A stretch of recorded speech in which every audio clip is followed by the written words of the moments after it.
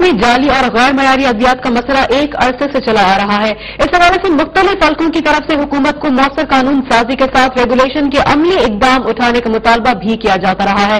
اسی سے متعلق مزید بات کرنے کے لیے ہم نے رابطہ کیا ہے صارفین کے حقوق کے تحفظ کی تنظیم۔ دی نیٹورک کے ایگزیکٹو کوآرڈینیٹر ندیم اقبال صاحب سے۔ بہت بہت شکریہ ندیم اقبال صاحب۔ اب تک نیوز کو اپنا وقت دینے کے لیے سب سے پہلے یہ بتائیے کہ پاکستان میں جعلی یا غیر معیاری ادویات کا مسئلہ کس حد تک گمبھیر ہے اور اس گھرانے عمل کا کون ذمہ دار ہے۔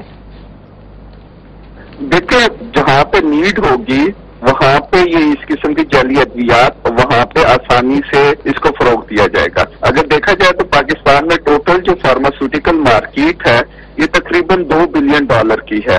اس میں جو فارما انڈسٹری خود ایسٹیمیٹ کرتی ہے، وہ کہتی ہے اس میں جو ففٹین پرسینٹ میڈیسن ہے، وہ جعلی ادویات ہوتی ہیں۔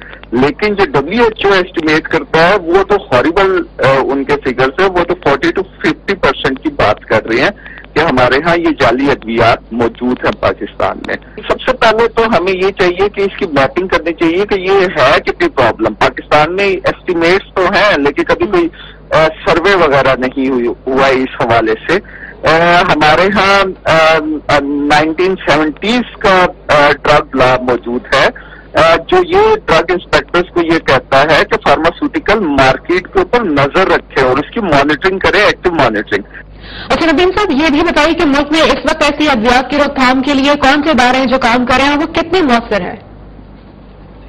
دیکھیں میں نے جیسے پہلے عرض کیا ہے کہ اس قسم کا کوئی کام نہیں ہو رہا دیٹس وائی ہر سال کے جو فگرز ہیں یہ انکریز ہوتے جا رہے ہیں۔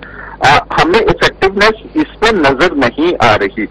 فیڈرل لیول کے اوپر ڈرگ ریگولیٹری اتھارٹی بنی ہے۔ اس کے پاس بھی ابھی وہ بہت انیشل سٹیج کے اوپر ہے۔ اس نے بھی افیکٹولی اس کے اوپر کام کرنا شروع نہیں کیا۔ وہاں پہ پالیسی لیول ہونی چاہیے۔ اسی طرح صوبوں کے پاس ایون ڈسٹرکٹ لیول کے اوپر بھی لاز ایگزٹ کر رہے ہیں۔ اس کے اندر ڈرگ انسپیکٹرز بھی موجود ہیں۔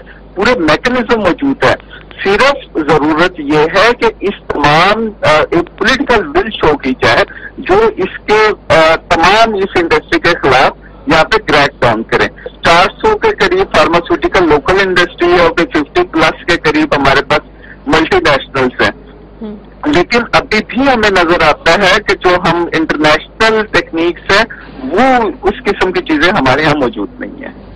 بہت بہت شکریہ دنیا کے ایگزیکٹو کوآرڈینیٹر ندیم اقبال صاحب اب تک نیوز کو اپنا وقت دے رہے تھے۔ مزید خبریں بھی شامل کریں گے۔ وقت ہوا ہے کھیلوں کی خبروں کا لیکن اس وقت ایک بریک لیں گے۔ اب تک کے ساتھ رہیے۔